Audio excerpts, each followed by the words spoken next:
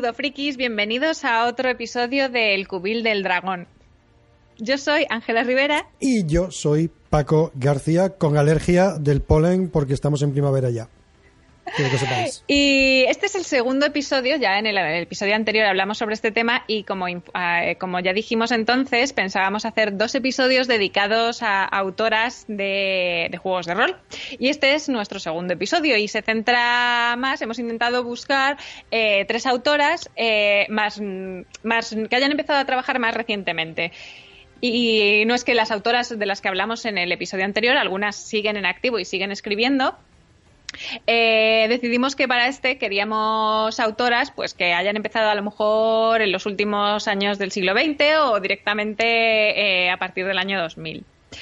Entonces, vamos a, hemos seleccionado tres que nos han parecido curiosas o que en algunos casos eh, alguno de nosotros conoce personalmente y, hemos dejado correr nuestra nuestra mm, admiración personal eh, hacia, hacia algunas de ellas y vamos a empezar con una de ellas que es Mónica Valentinelli. Sí. va a introducirla Paco. Sí, a ver, párame, ¿eh? Párame. Ya hemos estado hablando de esto. Párame, que cuando yo me pongo a hablar de estas dos mujeres es que no tengo por qué parar. y no tengo por qué parar porque, como dices, son, son amigas y además amigas a las que quiero con locura. a Mónica la conocí en el 2013 en World Fantasy Con en Brighton y, fue una de esas cosas que nos dimos la mano, empezamos a hablar y dijimos, tú y yo vamos a ser amigos. Y, nos hicimos muy, muy buenos amigos. Y francamente, yo no tenía ni idea de esta mujer. O sea, pero ni idea. Yo sabía que ella estaba trabajando con, con, Margaret Wise en Margaret Wise Productions. Oh, y, wow. Sí, sí, sí, eh, y trabajó bastante. Y se curró, o en aquel momento creo que se estaba currando, ah, no recuerdo exactamente, el, el, juego de rol basado en Firefly, en la serie. ¿Cuál? porque hay dos, eh, ¿Firefly el RPG o, Serenity RPG? El Firefly. El, último, el que sacó, el que sacó Margaret Wise. Margaret Wise. Correcto. Que fue el último. Es un juego, un, tochazo de juego de 400 páginas. Yo tengo por ahí el manual y, uff, madre mía, es un tocho. Pero, pero se ha llevado, mm, creo que es la mejor crítica a lo que es la división de episodios Mm, de lo que es la, temática de Firefly. Ah, tengo que admitir que a mí Firefly me deja muy frío. ¿Vale? Me, me, deja muy, muy frío. Como Yo sí soy muy fan de Firefly. Bueno, he de, reconocer que últimamente Adam Baldwin me la ha amargado un poco por su diversas por sus cosas personales y demás, pero sí que he sido muy fan de Firefly y me ha gustado muchísimo esa serie. Yo reconozco que no lo he visto, pero eso es para otro episodio. Bueno, sí. Mm, Mónica se ocurra esto.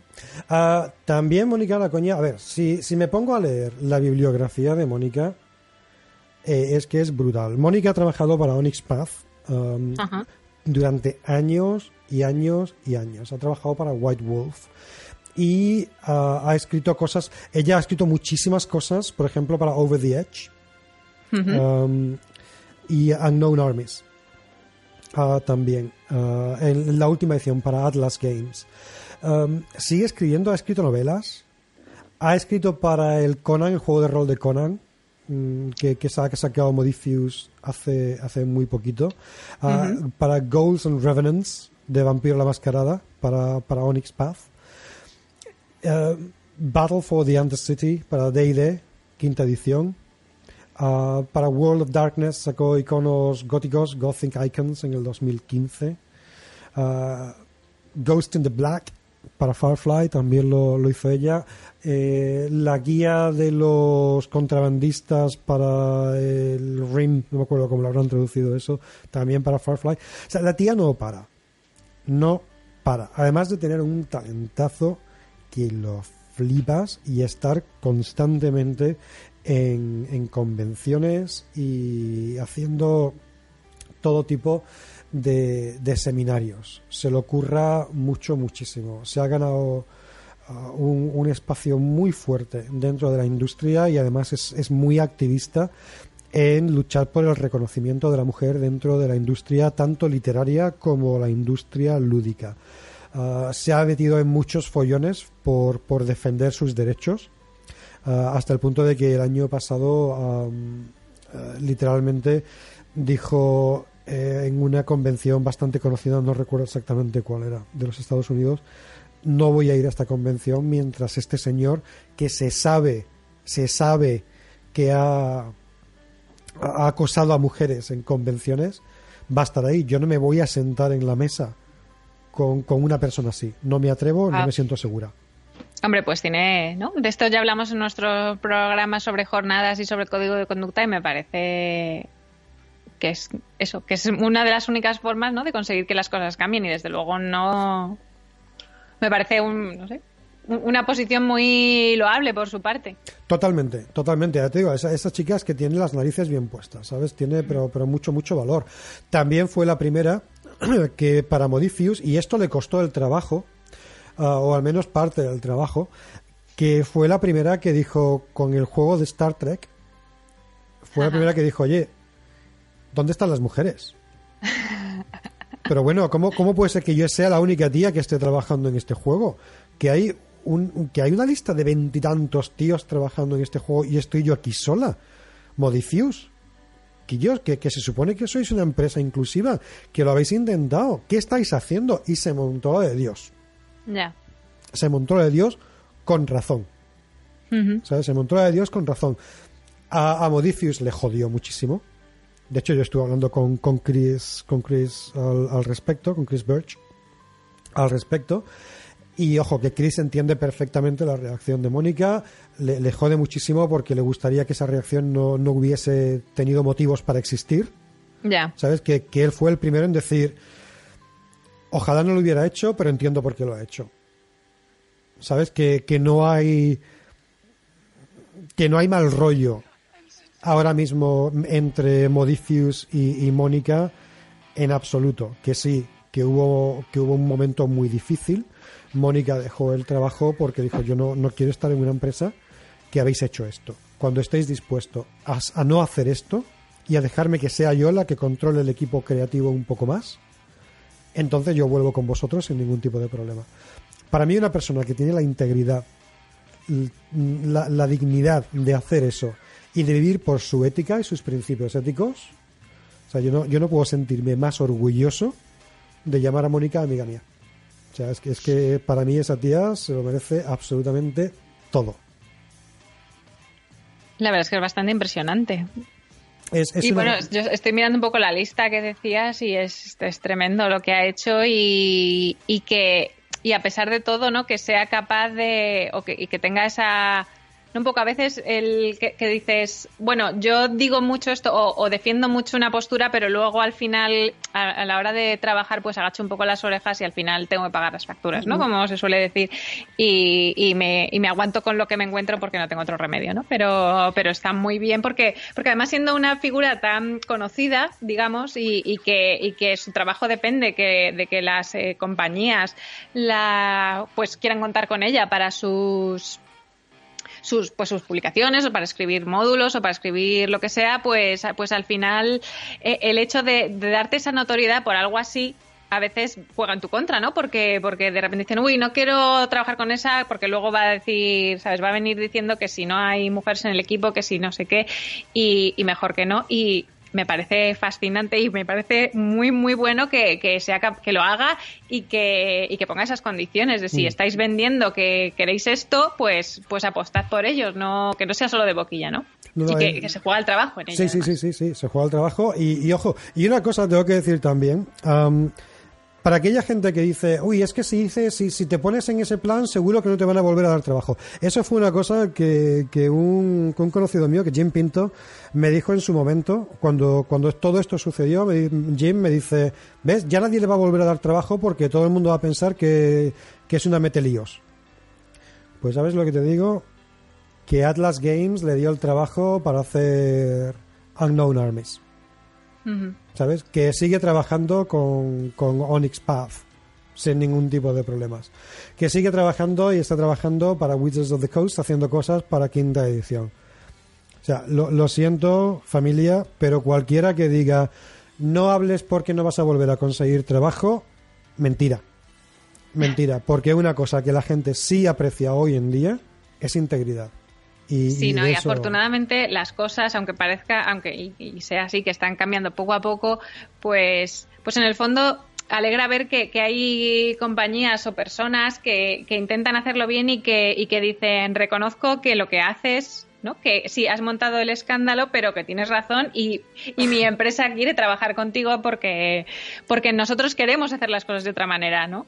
No vamos a castigar al que denuncia una mala situación, sino que vamos a, trabajar con esas personas para tener un ambiente pues mejor, más diverso, donde se pueda hacer una crítica de las cosas que están mal, a lo mejor incluso en tu propia empresa puedes identificar cosas que no, pues eso, que necesitas eh, más variedad o más diversidad en tu equipo de escritores o de editores o lo que sea y, me parece fenomenal que la gente, ¿no? que, que la industria esté en ese camino. Sí, sí, sí. Te digo, la industria creo, sobre, creo firmemente que, que, está, que está en ese camino y estando, ¿sabes?, liderada por, por mujeres como Mónica, ¿sabes? Como Mónica, como Nicole Lindros, como Jessica Banks, ¿sabes? Es, es, yo creo que está en, en, muy, muy buenas manos. Entonces, bueno, Mónica creo que se merece, además de que es una escritora con un talento, pero interminable, totalmente interminable, eh, creo que se merece como persona, se merece un reconocimiento bestial, pero muy, muy bestial. Y ya, ya me cayó. No, para, yo, así para terminar, y antes de ir con nuestra siguiente autora, como tiene una bibliografía tan, tan extensa, si tú tuvieras que elegir una cosa, bueno, no sé si te lo has leído todo, pero bueno, algo de lo que te hayas leído que te haya llamado más la atención, ¿qué sería? ¿Cuál sería tu recomendación? Over the Edge. Over the Edge. Ok. Pues me lo voy a apuntar. Um, over the Edge, no, mentira, mentira. No, Over the Edge ¿No? es, es, que, es que hay un juego que se llama Over the Edge, pero no, lo que ha hecho que se llama Over the Edge es un suplemento para Day de Quinta. Um, okay. Unknown Armies. La tercera edición de Unknown Armies. Ok. Um, me parece que a nivel de juego de horror psicológico uh -huh. es mega brutal.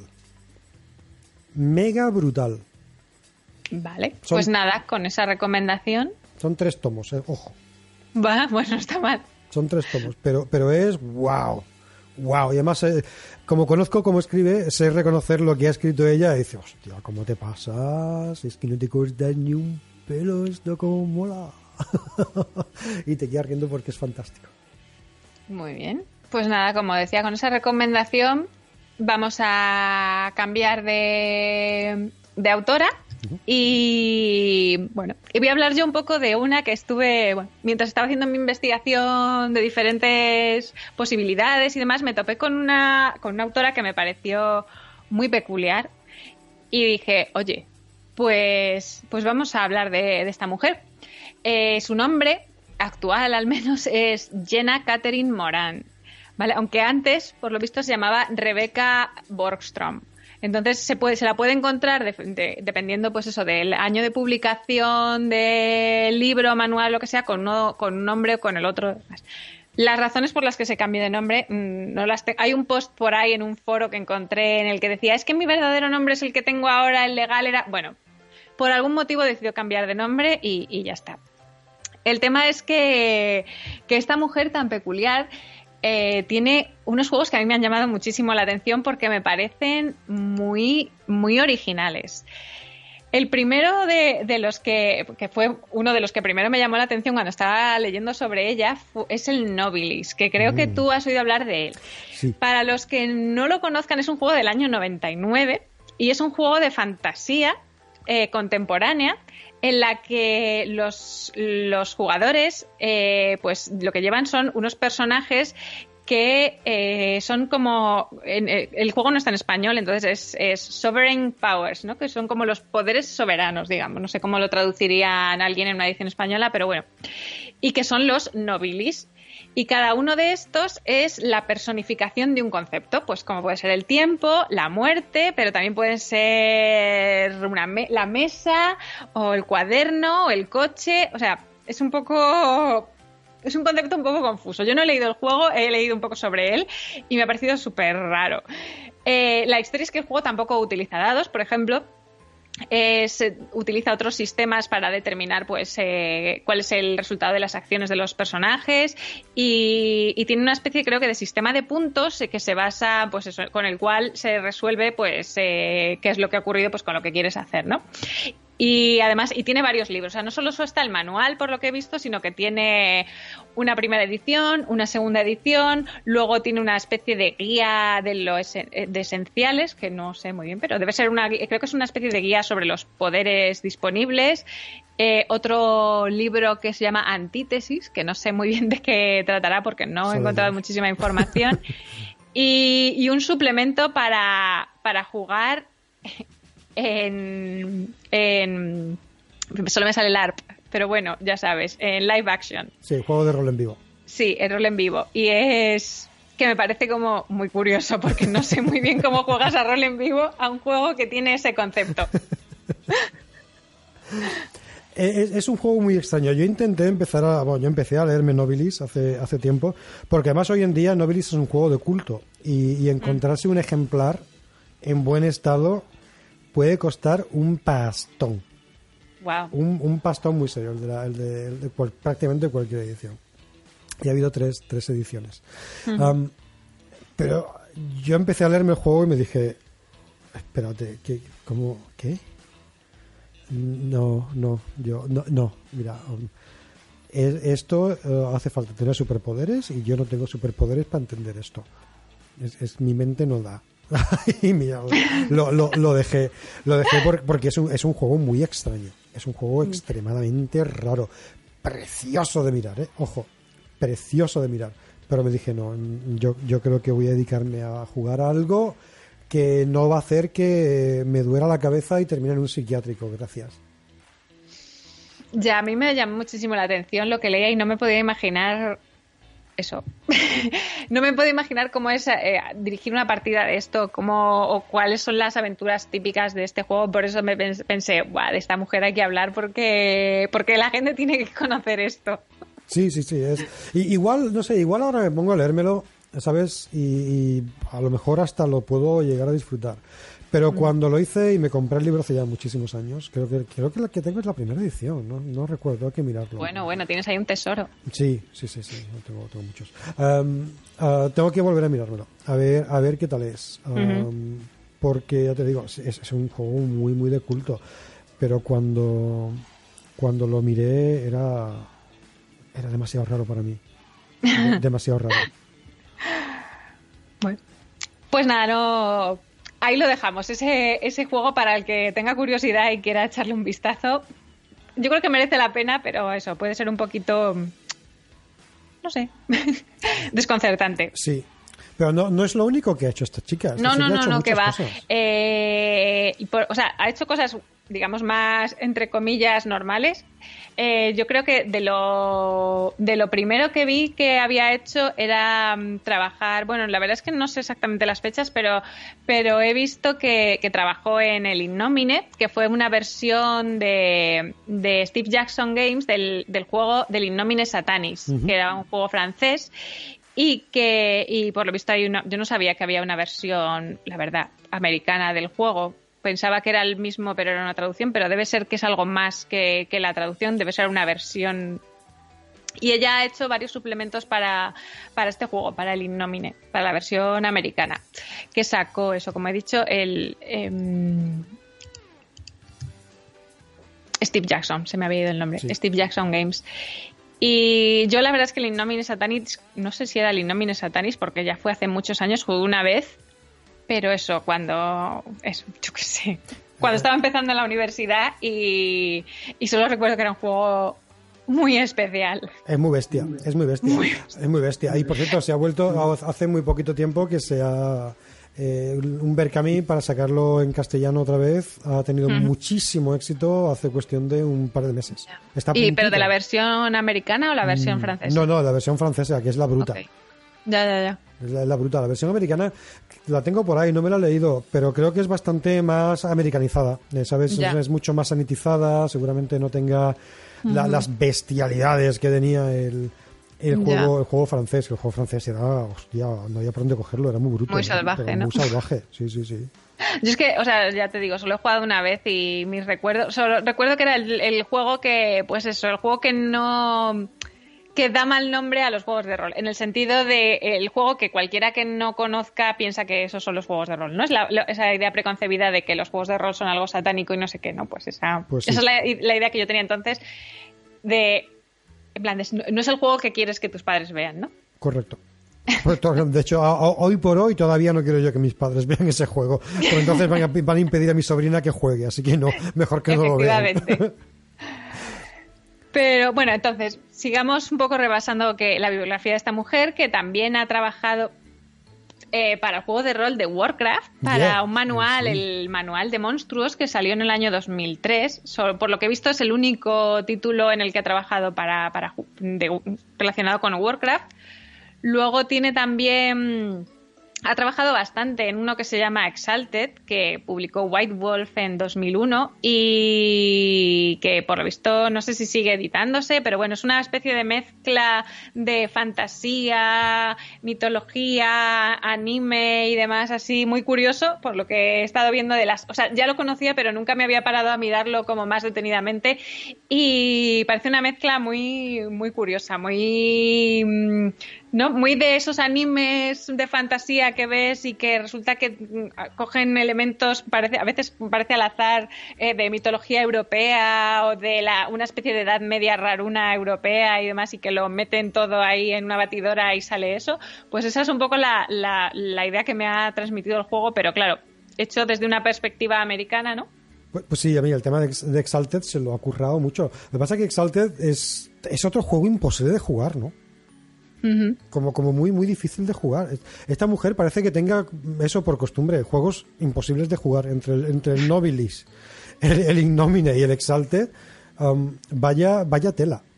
Sí, bueno, porque tiene otro que he visto que me ha llamado muchísimo la atención es uno que se llama Weapons of the Gods, que es eh, rollo wuxia de, ¿no? De, mm, basado, ¿no? En, con un setting chino y demás, que me parece muy, muy, muy curioso también, o sea, con una temática muy especial y muy, pues eso, que, como muy para cierto tipo de, fan, ¿no? Del, de, la temática. Sí, bueno, a ver, el tema de Bushia es que tú tienes que estar metido en, en, la temática para, para, que llegue de veras a, gustarte, a menos que sea una cosa en plan, ah, yo que sé, el Feng Shui, que, que, no es un juego para tomárselo muy, muy en serio. Mm, pero da la impresión de que sí, esta, vez esta mujer inventó un, sistema de reglas específico que lo llamó el Wuxia Action System, um, en el que el jugador pues tira los números, uh, número de dados igual a, la, habilidad del, personaje y, mira los dados que coincidan. Entonces, si coinciden múltiples veces, pues va añadiendo el valor de los, de los dados y va teniendo más, más o menos éxito. Que, tiene, tiene bastante. Eh, o sea, está, matemáticamente está muy bien. Luego tiene el río, que es una cantidad de dados así muy, muy pequeñita que puedes, que puedes salvar, puedes, puedes guardar. para utilizarlos más adelante.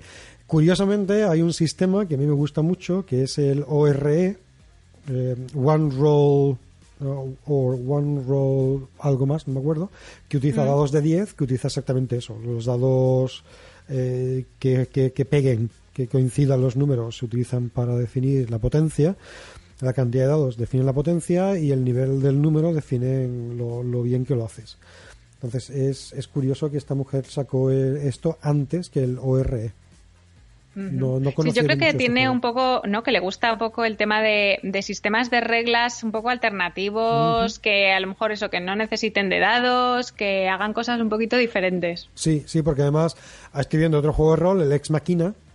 Sí. Eh, que también utiliza un juego de, dados extraño y el de 20. O sea, ahí, ya creo mm. que seguramente influenciada por, por Bruce Baugh, ah, decidieron sacar ambos sistemas. Um, pero si tiene un sistema, el Tristat de 8, o sea, utiliza de 8. ¿Qué, juego utilizas el de 8? No lo sé, yo solo lo uso para el daño. Exacto. Pero ahí no, esta, esta mujer pues dice un, un D8, pues no sé, pensaría, hoy he quedado más mono, vamos a utilizarlo para algo. ¿Cómo? Pues mira, como tengo un doctorado en ciencias de la informática, me he inventado mi Sí. propio sistema, toma.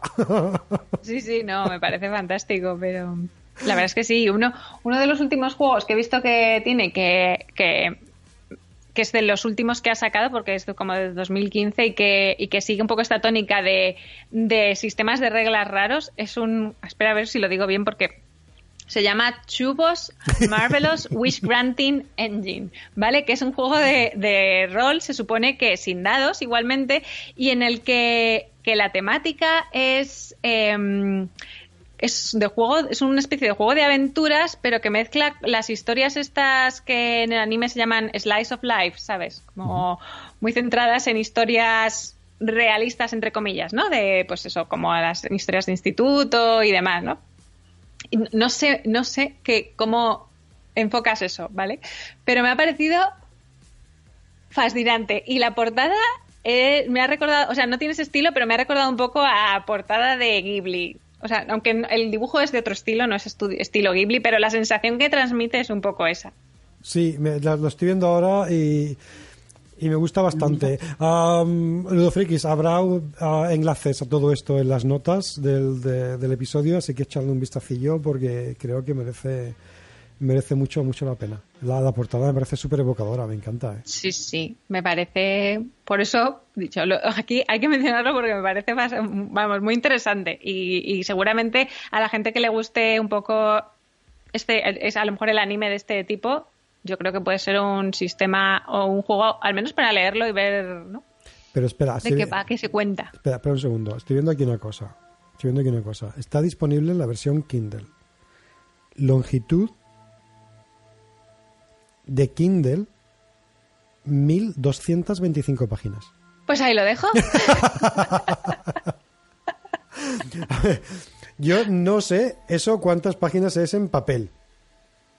Bueno, el juego ¿Sabes? está en drive-thru, yo lo he visto en drive-thru RPG, o sea que mm, Vamos a probar esto entonces en el Drive-Thru RPG porque Sí, sí, 1200 páginas de juego me parece una bestialidad muy seria. Pero, pero bueno, ¿cuántas, ¿cuántas vidas se ha pasado esta mujer escribiendo?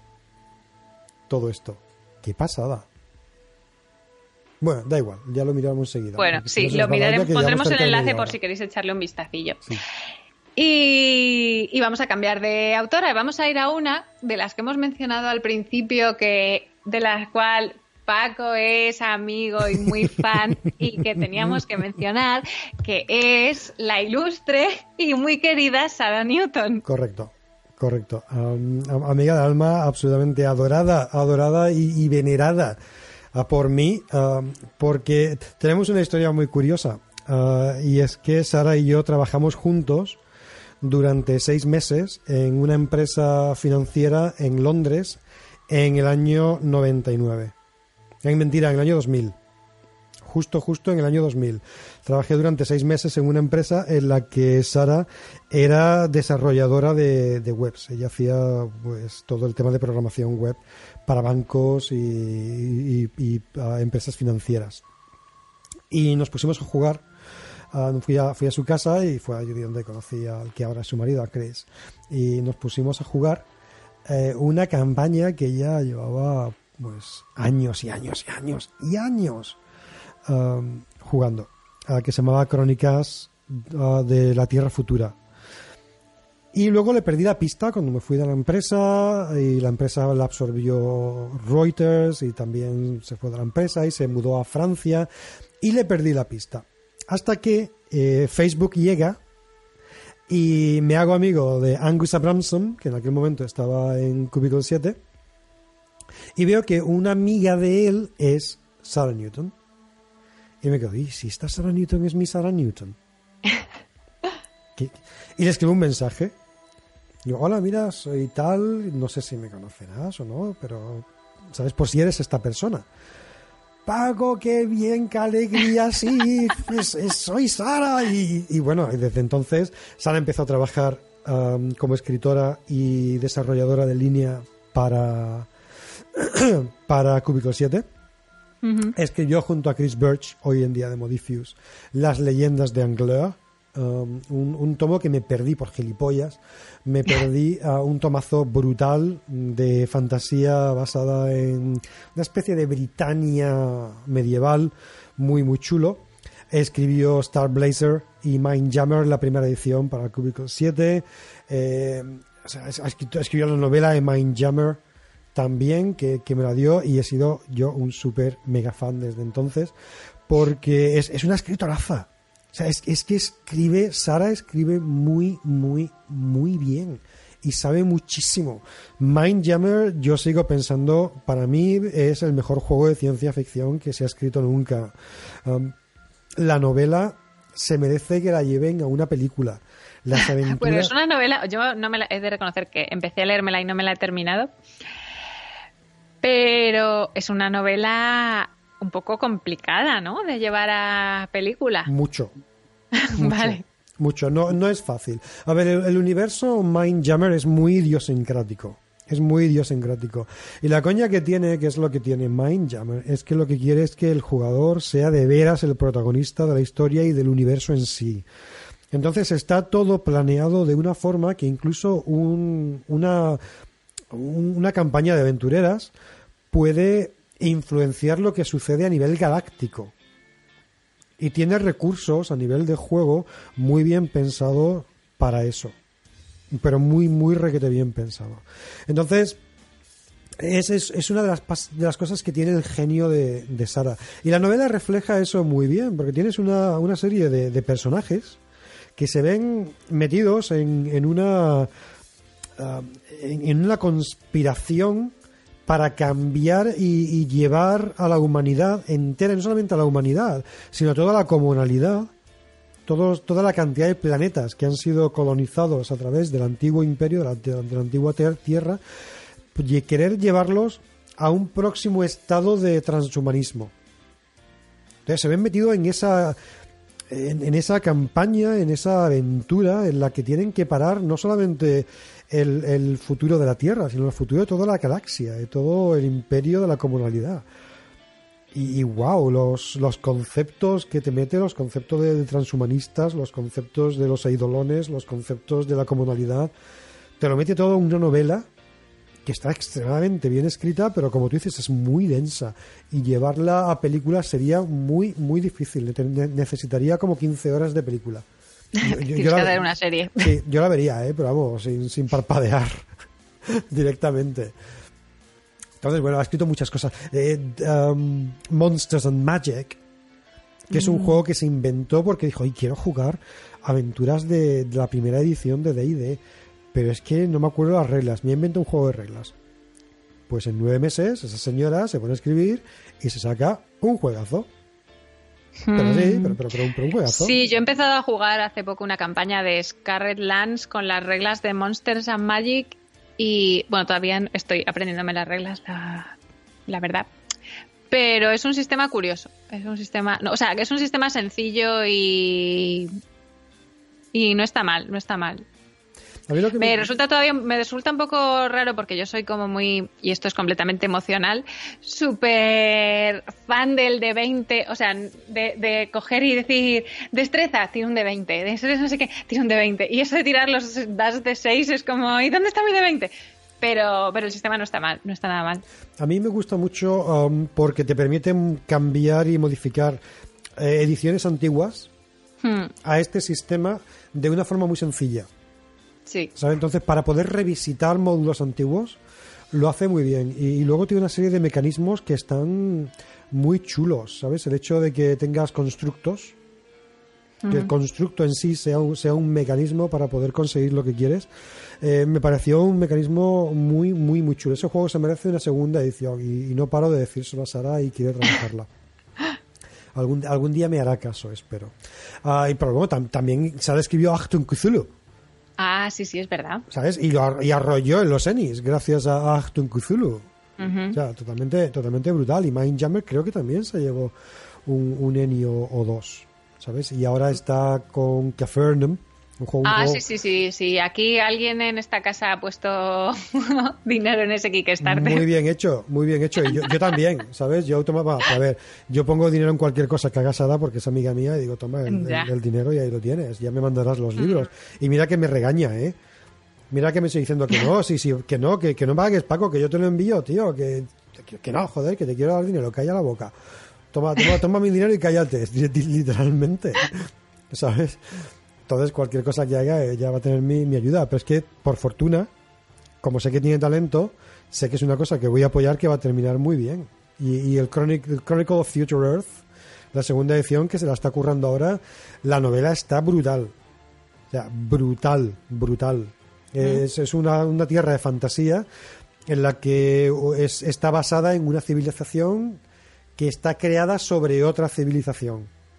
Y todo se trata sobre el descubrimiento de la civilización esa perdida que está por ahí, en la que hay seres hiperpoderosos que por motivos que obviamente no voy a decir porque una, sí, no desveles. no, no voy a desvelar, pero por motivos, bueno, se, hubo una especie de apocalipsis y, pero están todavía por ahí, se puede interactuar con alguna tecnología que parece magia. Es, una, es una ah, Que es un poco en la línea de los. Mm, del. Ay, ¿Cómo se llama este juego, por Dios? Numenera. Numenera, eso. Sí, pero Numenera vino después. Ya, ya, no, pero era por el tema, si, si está en este sentido de, de, civilización anterior muy avanzada tecnológicamente y la siguiente es, ¿no? Lo, utilizan lo antiguo como si fuera magia porque realmente no, o sea, es un poco en esa línea. Eh, sí, lo que pasa es que en este mundo sí hay magia. Aquí ah, hay magia y hay tecnología. Están las dos cosas. Se ah, parece, se, parece más a. Estás, vendiéndomela muy bien. Está muy chulo. Se parece, yo diría que se parece bastante más a Tecumel que a Numerera. Oh, no he leído Tecumel, oh. pero me recuerda un poco, aunque era muy oscuro aquello, ya lo leí hace mucho tiempo, a mm, unas que escribió, ay, ¿cómo se llamaba este hombre? Que era una especie de, fantasía escrita en, un futuro muy, muy lejano de la Tierra. y, pero sí, había fantasía y había... Mm, había... pero no se hablaba mucho de la tecnología, simplemente era un un mundo muy viejo, muy viejo y, sí, había demonios y no sé qué, y era un poco en esa línea de, la Tierra muy, muy, muy futura. Cuando el Sol ya es una gigante roja y no sé qué, era un poco... Ah, no, esto no lo conozco. Este Tecumel mm. está escrito por el profesor Baker, o Barker, ah. Barker, perdón, Barker. Ah, el hombre, por desgracia, ya no, ya no está con nosotros. Y es un mundo un poco en plan azteca maya. Ah, sí, sí, sí, sí, ya sé cuál. Y, está muy requete bien. Y ahí sí existe el, futuro pasado. De hecho, yo la primera novela que me leí fue El hombre de oro. Y, me costó un trabajo espantoso. Fue una novela, una de las primeras novelas que me leí en inglés cuando llegué a Inglaterra. Y me costó, porque además el tío, profesor de literatura, creo que era, o de lengua, es uno de estos doctores como Tolkien que se inventaba sus lenguas porque podía, porque sabía, y se lo pasaba muy bien haciéndolo y, escribía, es exquisita la, escritura, pero muy difícil para un no nativo. Y Tecumel está muy bien. Entonces, Chronicles of Future Earth se parece más a Tecumel que a Numerera por, por eso, pero sí existe la magia. Ah, si no te has leído la, novela, échale un vistazo. pues sí, sí. The Worm Within se llama. pues se lo echaré. Está muy bien. Ya pues. sí, sí, sí, sí, sí. Me has, vamos, me has interesado muchísimo. Pues me, merece mucho la pena. A ver si le meto prisa a Sara y que saque el libro ya, que lo quiero licenciar. Ahora, ya no digo más, que si no os puedo seguir hablando de esta mujer aquí, vamos, eternamente. Muy bien, pues te digo lo mismo que te dije para la primera, ya que tiene, ha escrito tantísimo y demás, ¿cuál, con qué te quedarías? Pero con un juego, con un tema, con, algo que esté relacionado con un juego. Yo me apunto en la novela, pero, pero algo que esté relacionado con un juego. Mindjammer. Mindjammer. Pero así. O sea, de, hecho, a Pablo le gustan los temas de ciencia ficción. Sí, pero Pablo no consigue encontrar a nadie que juegue con él a juegos de ciencia ficción. Da igual, eh. cómprale Mindjammer y, y Sí, lo tiene, que lo ah, tiene, ah, no te preocupes, lo tiene, pero el problema es que nadie se presenta voluntario. Oh. Yo he de reconocer que me gusta más jugar juegos de fantasía que de ciencia ficción. Estoy abierta a jugar a juegos de ciencia ficción, pero la cosa no está nada fácil. pues Mindjammer es un juegazo. Y si no te gusta el sistema Fate, existe la versión Traveler de Mindjammer. Vale, ya. Tampoco te gusta la versión Travel, vale. Te, no, lo sé, no, no, no, no, conozco el, sistema de Travel, eh, lo, reconozco. O sea, que ahí no puedo opinar. Es, muy crunchy. Es, no soy fan del Fate, eso sí que lo puedo decir, pero del, del sistema de Traveler ahí ya no me meto. Es, pues si no te gusta Fate Traveler, seguramente te guste menos todavía, porque es muy crunchy a nivel de regla y muy ochentero. Muy, muy ochentero. Lo siento, Mark, lo siento, Mark. Pues, pues si escuchas esto, aunque no hables inglés, aunque no hables español, pero lo siento, Mark. Pobrecito, es que Mark Miller me queda muy bien, es que muy buen hombre. Bueno, da igual. Vale. bueno, en cualquier caso, ¿tú recomendarías Mindjammer? Oh, sin dudas, sin dudas. O sea, Mindjammer, pero vamos, sí o sí. Sí o sí. Muy bien, pues nada, pues si te parece entonces lo dejamos aquí. Que hemos hablado largo y tendido sobre estas tres mujeres y de su trabajo. Se ha quedado mucho por decir, porque, porque sobre todo Sarah Newton tiene una obra eh, muy, muy extensa pero bueno, por lo menos esperamos haber picado el interés ahí un poco a la gente, ¿no? Para que busque más sobre ella y qué cosas ha hecho y, el juego este que el Cafarnaún, que, mm. que, el Kickstarter terminó hace un mes, creo, así, y que tiene muy buena pinta. Sí, y ya me ha enviado la, la encuesta para enviar cosas, o sea que seguro que de aquí a nada ya vamos a empezar a a ver productos de, de Cafarnaum. Y ya se le tengo le tengo muchas muchas muchas ganas por, por motivos que no puedo revelar. Muy bien. Ahí lo dejo.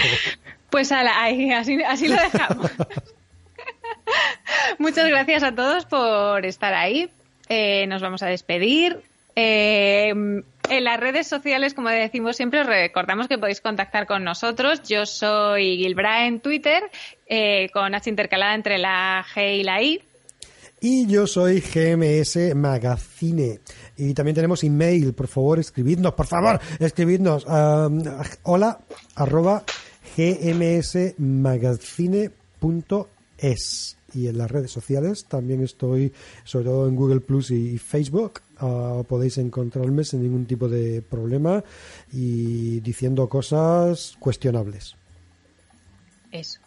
Así que, bueno, esperamos que contactéis con nosotros y, si, y como ya dijimos en el programa anterior, dedicado también a autoras roleras, si sabéis de alguna autora de la que queráis que hablemos, si sabéis de autoras tenemos una pequeña lista de autoras españolas de las que nos gustaría hablar, pero no hay mucha información y es, difícil a veces hacer esta labor de, arqueología casi. Y pues estaremos encantados de oír vuestras sugerencias de, y de saber qué os gustaría, de qué autoras conocéis, a lo mejor que nosotros no, y que os gustaría que, que habláramos de ellas y les diéramos un poquito, bueno, de publicidad, entre comillas, en aquí entre los dos. Sí, eso sería muy chulo. Así que venga, familia, a escribir, que para eso están los emails. Muchas gracias. Muchas gracias y adiós.